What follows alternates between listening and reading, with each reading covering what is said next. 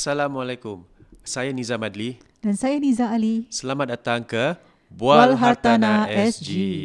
Uh, apa khabar para pendengar dan penonton uh, hari ini? Saya harap semua baik-baik belaka eh Niza eh. Alhamdulillah. Ya, Niza apa khabar? Baik, Alhamdulillah. Dan saya harap semua pendengar dan uh, Penonton. penonton kami. Uh, ya. Semua Alhamdulillah dan uh, sihat-sihat belaka. Yeah. You're mm. awesome guys. okay, anyway, kalau anda telah mendengar podcast ataupun me- mm. menonton YouTube video kita yang sebelum ini, kita sekarang format yang baru sikit eh. Mm. Kalau orang uh, apa orang lakukan react video, kita lakukan react audio. Uh, kerana kita telah pun ada partnership dengan mm. KRSG, Kisah mm. Rukia SG di mana kita uh, memberi mereka audio clip lah tentang uh, isu-isu tentang perumahan mm-hmm. yang kita bincangkan supaya mereka dapat incorporate into their podcast. Mm-hmm. Ya, baiklah. Jadi Tapi di Tak- sini kita ingin tebarkan yang lebih detail lah. ya, eh? lagi Pasal terperinci. lebih personal lah. Eh? Ya, yeah, jika ada soalan ya, jika, jika anda ada soalan dan apa boleh DM kami, PM kami ataupun uh, cari kami di Facebook. Hmm, jadi Uh, kami dapat Niza discusskan Nizam juga. SG. Ya, belum cakap dia punya tu. Oh, okay, jangan- kita punya Instagram is Niza Nizam SG. Yes. E N-E-E-Z-A-N-I-Z-A-M S-G. Yes. Jadi di situ anda boleh DM kami untuk uh, tanya soalan-soalan yang uh, yang More dipendam related to you lah. Ah, related to you. every case is unique. Jadi Ah, kita boleh tebarkan kisah-kisah itu dalam podcast kami juga Boleh, atau uh, di YouTube atau kita even can discuss it with you uh, personally, right? Yes, there's always Zoom, remember? Alright, baiklah. Okay. Uh, kita akan mulakan dengan uh, react audio kita. Uh, Mhm. Jangan dengan itu, silakan mendengar. Episod kali ini kita menyentuh tentang harga flat HDB yang melambung. Kenapa eh? Hmm. Eh, Ejen Man, kenapa termenung tu? Apa yang ada di fikiran awak tu? Cerita, cerita. Bukan termenung Nizam Cuma tengah fikir tentang kata-kata klien saya Dia cakap Ejen Man Kalau you jual flat I dengan harga yang tinggi Nanti I kena beli pun tinggi lah Macam tak berbaloi gitu. Baik I tinggal sampai mati kan? Oh, sampai begitu, mm-hmm. memang secara general it seems that way. But your client harus faham apa sebab HDB market meningkat dengan pantas sejak COVID ni. Yelah Nizam. Kita pun tak expect sih HDB market boleh melambung Lebih 12.5% dalam setahun. Unbelievable Percayalah. Eh wah eh wah awak yang berdua ni buat apa? Panjat. Dari tadi saya dengar kecoh betul membawang eh. Terkejut saya Nizam tak adalah kami te- te- tengah bincang tentang HDB market yang telah melambung naik ni Rugi tak boleh beli Untung pun macam tak boleh beli Ah, tahukah anda berdua mengapa ianya berlaku? Lebih tepat lagi mengapa di masa-masa COVID ni harga HDB boleh naik mendadak? Cerita, cerita. Punca utama ialah pembinaan BTO tergendala disebabkan COVID restrictions. Kurang pekerja pembinaan macam mana BTO nak siap cepat? Jadi BTO yang sepatutnya siap antara 2-3 tahun kini hanya akan siap paling awal dalam 5 tahun. Jadi mereka yang boleh tak boleh tunggu selama itu tukar fokus kepada resale flat. On top of that, HDB upgraders adds up to the demand. Jadi jumlah mereka yang nak beli HDB resale melebihi mereka yang ingin jual flat mereka. Demand more than supply. Itu sebab harga meningkat dengan mendadak. FOMO, fear of missing out. Memang betul Niza Sebelum ini Lebih dari 8 tahun Harga HDB Macam hidup segan Mati tamau Macam tak ada heartbeat But still breathing Sebab itulah sekarang masa yang terbaik bagi pemilik HDB resale ataupun dah MOP untuk mengambil kesempatan kerana harga masih mantap untuk mereka jual flat. Betul Nizam. Tetapi langkah seterusnya amat penting. Jika boleh Anda harus ambil peluang upgrade Ke aset kelas yang potensi peningkatan lebih terjamin Iaitu hartanah private seperti kondo ataupun isi Mereka yang ada keperluan membayar hutang yang tertunggak Harus ambil kesempatan ketika up market sekarang Dan dan yang negative sale pula, time to cut your losses and reset your CPF by right sizing. Wow, jadi apa yang harus pendengar lakukan? Apalagi hubungi kami untuk mendapatkan penjelasan yang lebih terperinci kerana setiap situasi berbeza. Yang penting harus ada perancangan yang strategik. Jangan teragak-agak untuk bertanya. Bak kata pepatah Melayu, malu bertanya, sesat jalan. So dial 967-04-504 sekarang juga. Tepat sekali. Ke- Hmm, tepat sekali, eh? Tepat sekali. Dengar. Saya picit tepat sekali. Uh, oh. Baiklah. Uh, hmm. uh, ada gangguan okay. Sikit eh. Tapi tak apa. Yalah.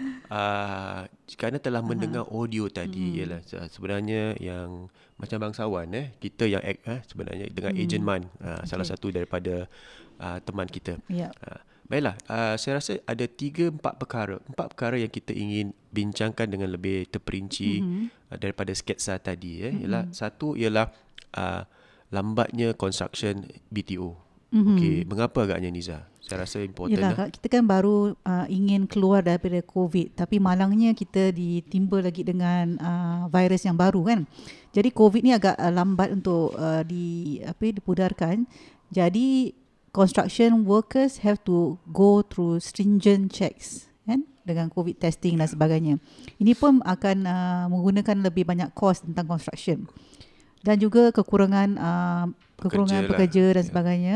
Jadi dari itu Kekurangan kerana uh, tidak boleh pekerja tidak boleh masuk ke Singapura untuk uh, melakukan tugas lah. Ya, Yang nombor satu important. dan nombor dua kita tidak boleh uh, ada ramai pekerja at one time in a one Yes. place kan. Dia ada macam uh, a number of people in one area kan macam lima Yeah. orang dan sebagainya. As Pasal speak- social as we speak distancing. today, uh, situation bertambah baik tetapi juga akan makan masa lah untuk Ya, dia pulih untuk sepenuhnya recover, lah. yes. Ha, itu important. Jadi BTO yang anda Hmm. apply pada mungkin setahun dua tahun yang lalu uh, akan ada delay in terms of getting your keys. Dulu dalam jangka masa 2 3 tahun dah boleh dapat kunci eh. Sekarang Ya. mungkin 5 tahun. Ya, even for clients yang kita dengar ada dapat uh, surat eh untuk dapatkan kunci March ni Hmm. pun agaknya ditangguh juga saya dengar sampai ke Ogos. Okay.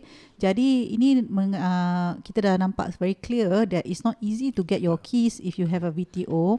Yeah. Dan uh, for the past two years punya kelambatan kelambatan eh uh, drag further yeah. untuk uh, to five years. eh. Kerana itulah hmm. uh, harga pasaran HDB resale uh, begitu mantap dan uh, kira demand is very high Ya, pasal moment. anda fikir kalau nak tunggukan lima tahun tu, kalau anda baru kahwin agaknya anak dah dua tiga lah eh. Uh, tapi lebih penting ialah kerana harga telah pun meningkat more than 12%. Mm-hmm. Itu adalah satu red flag eh di mana HDB harus affordable. Itu eh, anda tahu mm-hmm. government pun telah intervene dengan cooling measures yang telah di uh, announce pada Disember yang lalu. Mm-hmm. Tetapi uh, kerana kelambatan uh, BTO uh, ia impactnya tidak akan kita dapat uh, dapat rasa mungkin pada pendapat saya lah akhir tahun kerana di, supply masih kurang dari segi resale market. Jika anda di sana selit sikit eh, jika anda ada flat yang dah MOP ataupun ada ura-ura nak jual flat HDB anda, jangan lupa hubungi kami. Tetapi bukan penjualan ni harus juga ada uh, apa pelan pembelian eh. Hmm. Bukan jadi jual pasal harga tinggi jual tapi nak beli apa. Ya. Ha, itu nanti kita kupaskan. Tapi hmm. yang important harga HDB resale telah meningkat 12 12.5% dalam jangka masa setahun. Jadi itu adalah satu opportunity untuk hmm. anda yang memiliki HDB flat kerana boleh meraih keuntungan. Secondly, hmm. untuk uh, HDB owner yang selama ni negative sale, hmm. tidak ada keuntungan langsung, malahan yeah. rugi CPF. Kemungkinan pada uh, kali ini anda dapat minimal minimally break even. Ya. Ah, Atau apa, meng, uh, kurangkan yang apa tu kerugian tu uh, dan mitigate dan- your losses. Uh. Ah, kita okay. kita telah lakukan satu case eh, di mana 2 3 tahun yang lalu dia punya loss is about six figure. Ya, 160,000 something Ya. like that, right? Tapi mm-hmm. bila kita jual rumah mereka dah tahun tahun lepas uh, ke, kerugiannya hanya 30 40 ribu. Jadi ada dah kekurangannya lah. Mm-hmm. Uh, itu important. Okey, bagi pendengar di sana atau penonton, mereka fikir macam oh, tetap rugi juga. Tapi kalau kita tengok tentang uh, the history of uh, HDB prices kan, dah 8 tahun mendadak tak naik. Betul. Jadi takkanlah anda nak seterusnya kasih dia kerugian. Pasal kerugian ini anda harus uh, kembalikan kembali ke CPF anda. Kalau tidak anda tak boleh retire. Yes. And kita nampak kebanyakan pelanggan kita yang ada negative sale ni, mereka telah tinggal di HDB mereka lebih daripada 17 tahun. Hmm. Okay, padahal orang beli time murah eh, tapi kenapa rugi eh?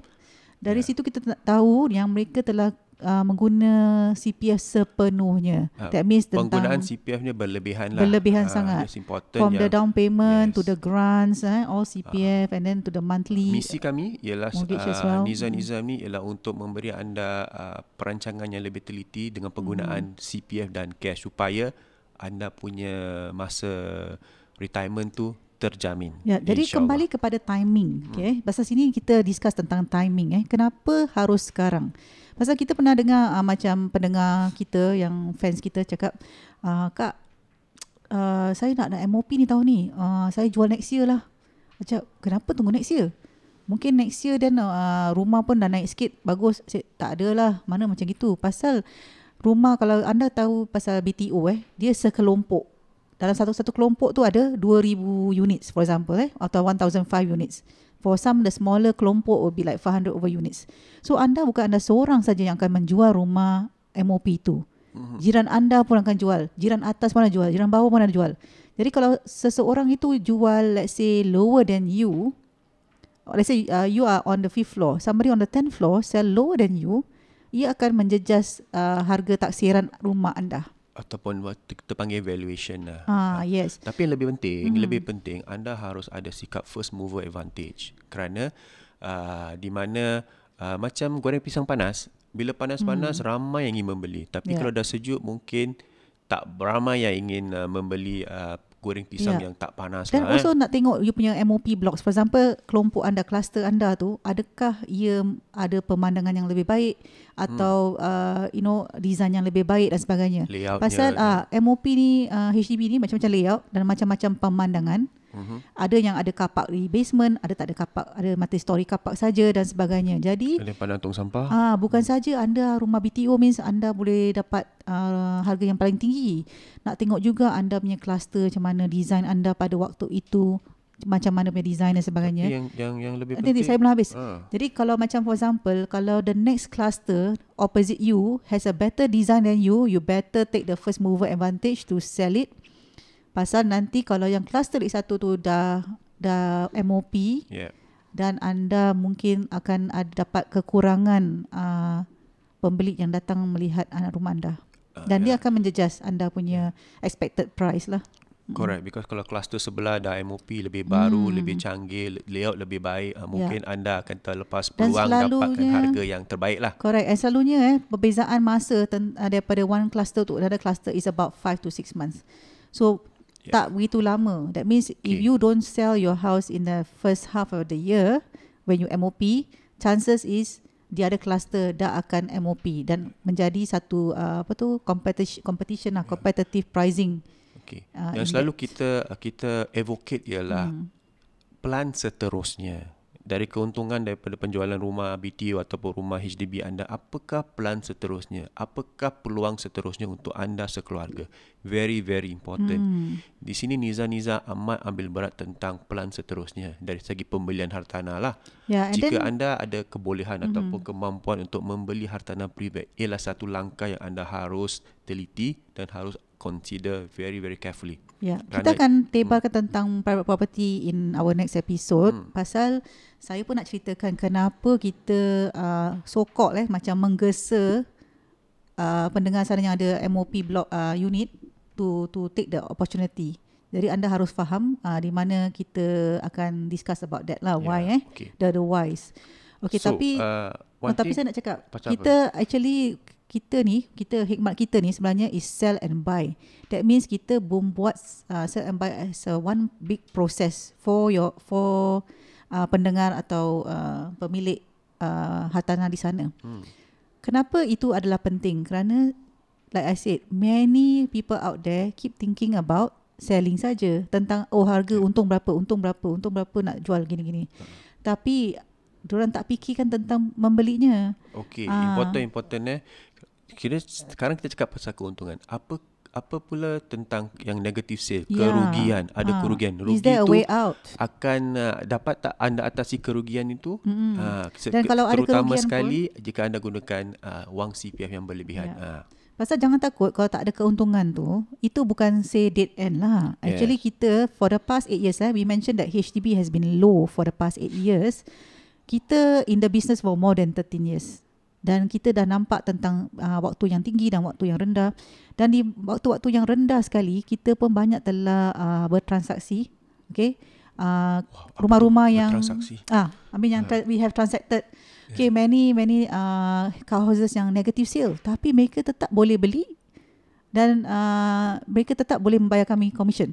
Okay kerana kami akan uh, tebarkan eh all the options for you okay tapi the decision is still yours but we will show you the figures how you can come out from the negative sale and end up buying a property that is uh, fully paid ke atau uh, The- having yeah, uh, the- lower installments The key thing here is the right sizing ah. Uh, the right sizing portion important. Mm-hmm. Jadi anda tahu uh, kita harus fikir tentang logical, mm-hmm. uh, emosi put aside kerana kalau tidak kerugian ini akan berterusan dan akan menjejas retirement anda. Mm. Uh, jika anda dalam uh, lingkungan usia sebelum 55 tahun ni anda harus beri apa more attention to it lah. Uh, important. Mm. Yang telah 55 ke atas uh, ada juga jalan untuk anda you know release your CPF fund Yeah. jika kita peran, merancang dengan lebih teliti. Okay, apa yang Nizam katakan tu adalah restructuring eh, down uh, right sizing and restructuring of your CPF usage. Correct. Okay. Uh, kita selalu advocate tentang penggunaan penggunaan cash mm-hmm. tentang pembayaran rumah kerana ia akan dapat membantu anda bila anda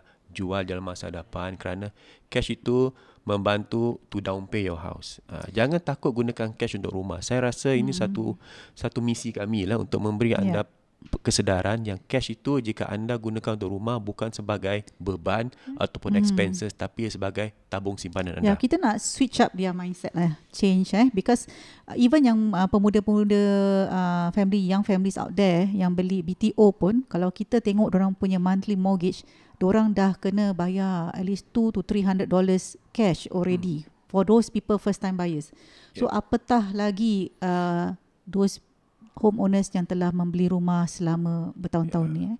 Uh, so it has to uh, change the mindset to pay cash into the house kerana Correct. kalau cash ini tidak uh, dimasukkan ke rumah uh, chances are anda akan uh, Terbelanja. terbelanja Ah. nombor satu dan also mengalami kerugian later maybe 10 15 Yeah.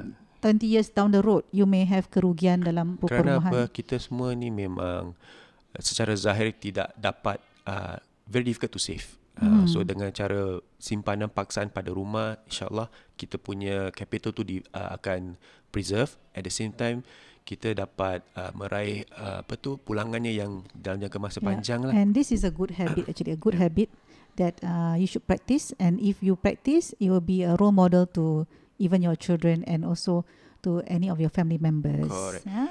Baiklah, uh, saya harap, kami harap anda telah men, uh, mendapat sedikit sebanyak more clarity on uh, uh, keadaan HDB market at the moment.